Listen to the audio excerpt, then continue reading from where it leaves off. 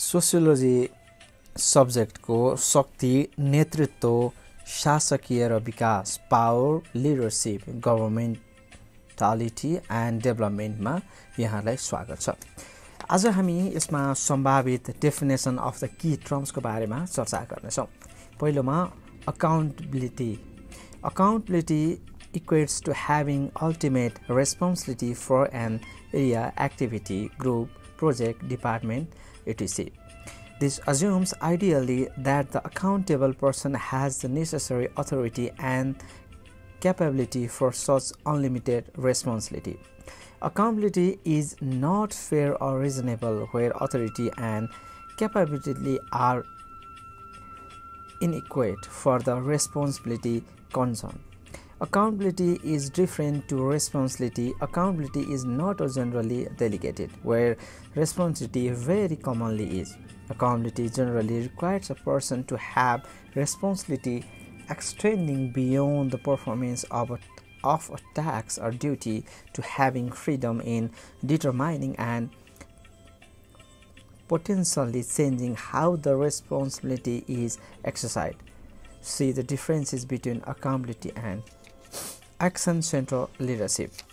A leadership model based on three elements tasks, team, individual responsibility in the leadership proposed section. Authentic leadership. A generally commendable and positive leadership philosophy with emphasis on openness and honesty, being true to oneself, and similarly ethical and high integrity behaviors.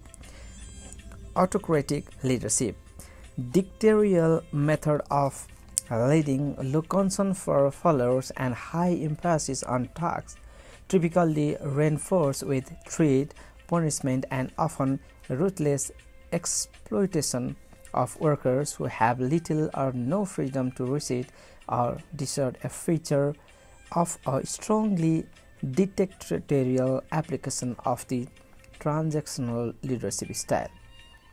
Leadership behavior often pluralized in referring to leadership behaviors which are broadly how a leaders act what the leaders does and how the leaders does it there is a strong correlation between behavior and style in a context of describing and understanding leadership theory.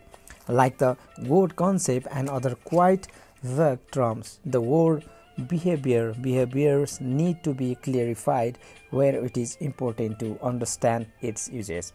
Effective leadership, common expression basically meaning good leadership. For example, leadership approach which achieves tasks organizational aim while also satisfying all other needs and obligations of leadership for the situation since situation can change a lot for any given leader the term also implies leadership capability to adopt methods styles in maintaining effectiveness. Ethics ethical leadership. A flexible but very real and vital concept referring to the moral code applicable for a given situation within the notion there are many generally accepted universal rights and wrongs for example not causing suffering to people not stealing not lying or cheating but otherwise clear rights wrong. See the ethical leadership philosophy and the separate section on ethical management and leadership. Leadership model. Structure or framework or processes which can be used to learn, teach, apply, and adopt leadership, or a tool that enables people to lead effectively and grow as leaders. See more details at leadership terminology definition. In general, the terms is used rather loosely. In this article, the term leadership model is a lot more specific and refers to the main category of leadership theories explained in this article leadership models, leadership philosophy. An approach to leading that is driven by a set of values and beliefs. These values govern the aims that a leader proposes and how he or she acts. This can be underpinned by beliefs about wider issues than leadership. See more detail at leadership terminology definition. In general, the term is used rather loosely in the article the term leadership philosophy is not like more specific and returns to a lesser but nevertheless very significant category of leadership theories explained in this article leadership philosophies leadership style a particular and relatively narrow behavior or set of behaviors that are used by real life leaders and which may arise to a degree as an aspect or mode of leadership within a leadership model. A leadership style alone is very inadequate for teaching, applying, and adopting leadership methods. See more details at leadership terminology definition. In general, the term is used rather lightly, loosely in this article. The term leadership style is a lot more specific and refer to a lesser category of leadership theories explained in this article. Governmentality Foucault originally used the term governmentality to describe a particular way of administrating population in modern European history within the context of the rise of idea of the state. He later expanded his definition to encompass the techniques that pursuits which are designed to govern the conduct of both individuals and populations at every level, not just the administrative or political level. This includes the notion of self government. Identity. Although Foucault's work is often hailed as one of the inspirations for various identity movements, Foucault himself favors the dissolution of identity rather than its creation or maintenance. He sees identity as a form of subjugation and way of exercising power over people and preventing them from moving outside fixed boundaries. Power. Foucault agrees a number of points in relation to power and offers definitions that are directly opposed to more traditional liberal and Marxist theory of power. It is important to note that Foucault refined his definition of power over time and his views are not homogeneous definitions. Power is not a thing but a relation. Power is not simply repressive but it is productive. Power is not simply a property of a state power. It is not something that is exclusively localized in government and the state, which is not a universal in sense. Rather, power is exercised throughout the social body. Power operates at the most micro levels of social relations. Power is omnipresent at every level of the social body. The exercise of power is strategy and war-like types of power.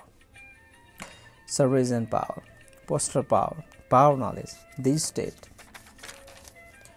democratic leadership, citizenship, a legal status and relation between an individual and a state or other territorial polity, such as the European Union, a federal province, or only particular partially recognized state that entails specific legal rights and duties. Citizenship of a state is generally used as a synonym for nationality. See nationality where citizenship is used in a meaning that is different from nationality. It refers to the legal rights and duties of individuals attached to nationality under domestic law. In some national law, citizenship has a more specific meaning and refers to rights and duties that can only be exercised by nationals after the age of majority, such as voting rights, or to rights and duties that nationals can only exercise in the national territory. Except where especially state, we do not use broader non-legal interpretation of citizenship, which refer to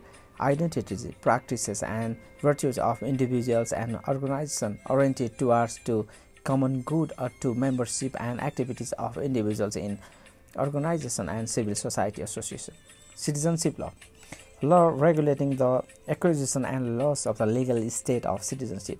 Citizenship requirements. Legal requirements pertaining to the acquisition and loss of citizenship. This refers to birthright acquisition requirement, naturalization requirement, and condition for voluntary or involuntary loss of citizenship. Acquisition of citizenship. Becoming a citizen, whether by birth or at any time after birth, whether by automatic attribution, by individual declaration, registration option or application, or by non automatic attribution by public authorities social revolution. The social revolution are sudden change in the structure and nature of society. These revolutions are usually recognized as having transformed society, culture, philosophy, and technology much more than political system. Theda Skocpol state that social revolution is a combination of thoroughgoing structural transformation and massive class affairs. New social movement. Social movements which points that the advent of the post-structural economy resulted in a new way of social movements distinct from those social movements arising during the industrial economy. In these new social movements, more importance is attached to social and cultural concerns rather than economic or political consideration. Actors in NSMs are from a new middle class instead of from the lower classes as was typical of social movements of the industrial economy. NSMs consist of informal, loosely organized social networks of supporters rather than members and tend to be locally based NSMs act as a platform for collective action in civil society or in the cultural domain rather than as an instrumental tool for the state. As such, new movements are often considered to be anti-authorism NSMs are normally centered on a single issue or a limited range of issues which are related to the broader theme, such as the environment. Critics of NSM theory include the fact that non-materialistic movement existed in the industrial era and materialistic movements persisted in the post-industrial economy. While there are few traits that are specific to new social movements, differences between old and new movements have already been explained by theories preceding NSM and the NSM does not take into account right-wing movements.